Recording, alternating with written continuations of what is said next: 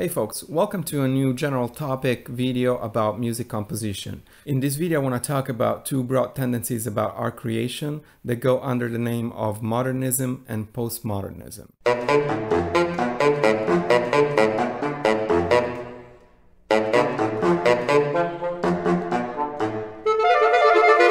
Modernism and postmodernism are just general aggregators of different approaches to artistic creation and that can be used to uh, understand the motivations behind uh, a certain work or understanding certain stylistic features. First of all, let, let me state that neither modernism or postmodernism are specific artistic styles.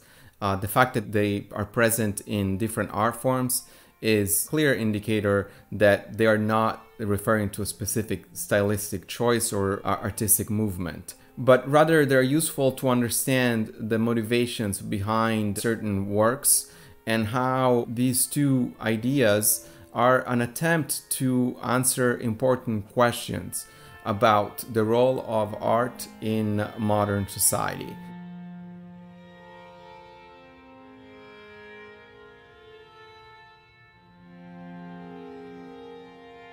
Whether art is entertainment, is a form of knowledge, a way to expand our cognitive abilities?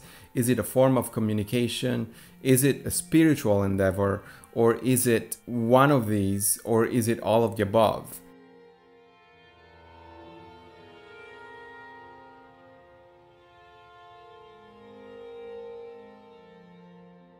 It might be hard to address whether a, work is modernist or postmodernist if we just consider a single work. But uh, these two ideas can be useful to address certain stylistic trajectories and address certain stylistic choices over time.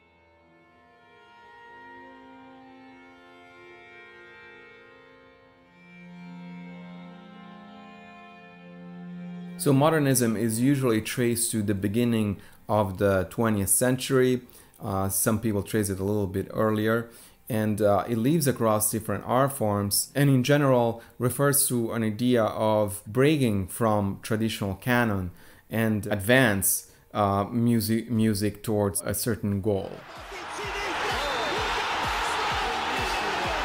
In my previous video I talked about Adorno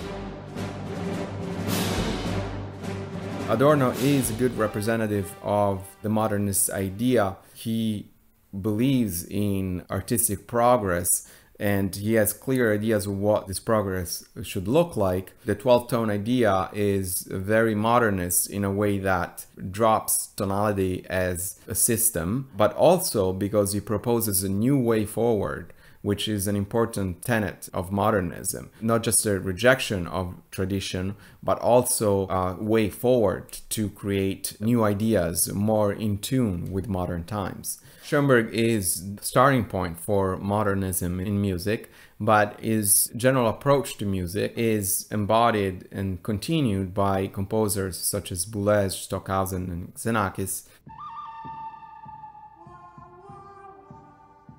Even if they didn't embrace the 12 tone idea in the way that Schoenberg intended, they still embraced the idea of having a new system to replace the old system.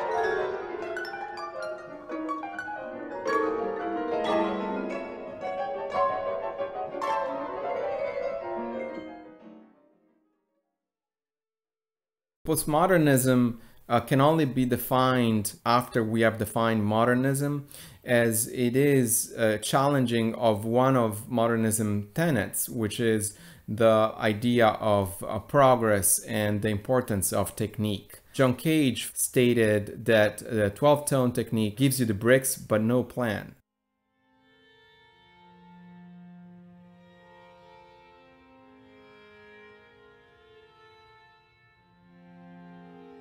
Postmodernism it goes to the core of the problem, which is what is music to begin with? What is its role? What is it supposed to convey? And uh, it does not necessarily answer that question, but it just proposes this question to the audience through the work of art. Cage famous 433, uh, which is a piece where the performer uh, does not play a single note, brings the audience into the piece, making it aware of itself, really breaking the third wall between the piece and the audience, where the audience is actively participating in the piece and being challenged to question what the limits of the medium are.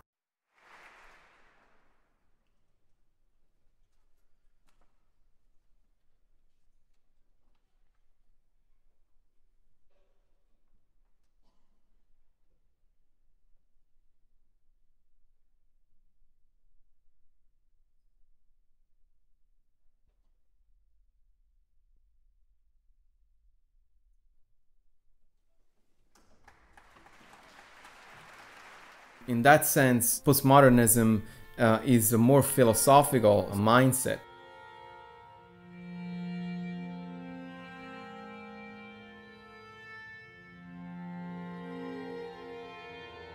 Both modernism and postmodernism are an attempt to answer this question what is music supposed to achieve and what it is to begin with. I think modernism does give an answer, an answer based on a natural progress that the composer is supposed to follow. And uh, each work of art is justified if it brings the discussion, the technique, the art form forward. Uh, so that that's a justification, that's the impetus behind uh, the modernist philosophy.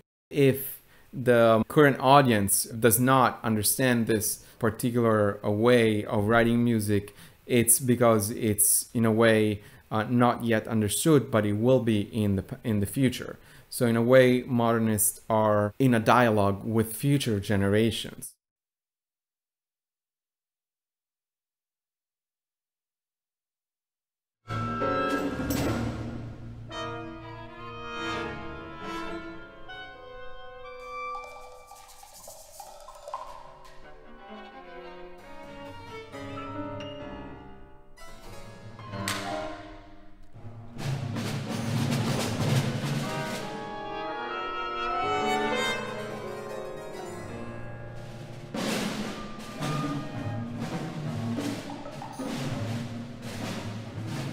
A postmodernist composer, there is no clear path, there is no clear progress that we can follow. The only way that we have to keep creating is by questioning the art itself.